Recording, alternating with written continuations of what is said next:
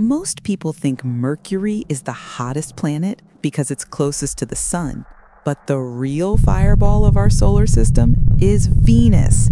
And the reason is shocking. Mercury has almost no atmosphere, so whatever heat it gets from the sun, it loses just as fast. Sunlight enters,